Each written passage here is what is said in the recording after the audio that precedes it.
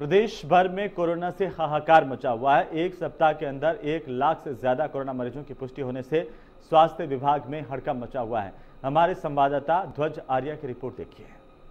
के जो पॉजिटिव मरीज़ है, अगर पिछले सात दिनों की बात की जाए तो राजस्थान में एक लाख से ज़्यादा कोरोना पॉजिटिव मरीज़ आ चुके हैं और करीब जो है साढ़े चार सौ के आसपास राजस्थान में मौतें हो चुकी हैं।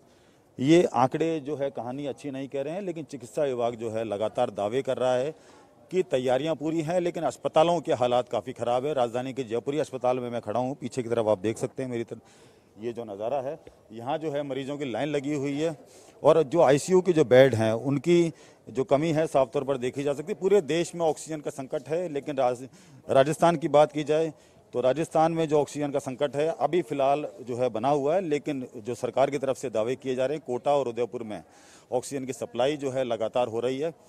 और उसके साथ साथ में जिस तरीके से मरीज़ बढ़ रहे हैं तो उसको लेकर कई जो बड़े लोग हैं, भामाशाह हैं, वो आगे आए हैं। 500 बेड के उन्होंने यहाँ पर क्वारंटाइन सेंटर बनाए हैं और कोरोना के मरीजों के लिए उन्होंने 500 बेड के कई जो है, जो अस्पताल खोलने की उन्होंने जो है काफ़ी हद तक व्यवस्था की है। तो राजस्थान की बात की जाए तो राजस्थान में हालात फ़िलहाल अभी ख़राब हैं।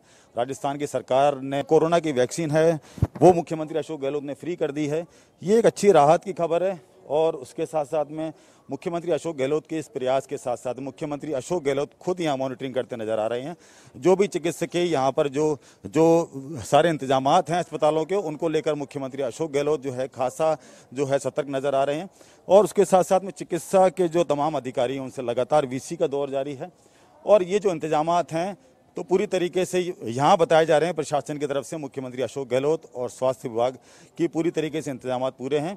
और आने वाले समय में अगर जनता समझती है तो ये हालात हैं, वो कई कई हद तक जो है सुधर सकते हैं। और उसके साथ साथ मुख्यमंत्री अशोक गहलोत लगातार अपील कर रहे हैं लोगों से घरों में रहने की। और एक सबसे बड़ी बात, राजस्थान में जो, आज की बात की जाए तो आज जो तमाम ज़िले हैं, वहाँ पर आवाजाही बंद कर दी गई है। तो ये भी एक अच्छा प्रयास है कोरोना की तरफ़ से, कोरोना को रोकने के लिए। तो आमजन को समझना होगा और फेस मास्क पहनना होगा और घरों में रहना होगा, तभी वो कोरोना से सुरक्षित रह सकते हैं। और उसके साथ साथ में मुख्यमंत्री अशोक गहलोत और उसके साथ साथ में जो इंडिया न्यूज़ की तरफ़ से एक मुहिम चलाई जा रही है कि लोग अपने घरों में रहें, तभी सुरक्षित रह सकते हैं और कोरोना की जंग जीत सकते हैं। सहयोगी नरेंद्र सिंह के साथ ध्वज इंडिया न्यूज़ जयपुर।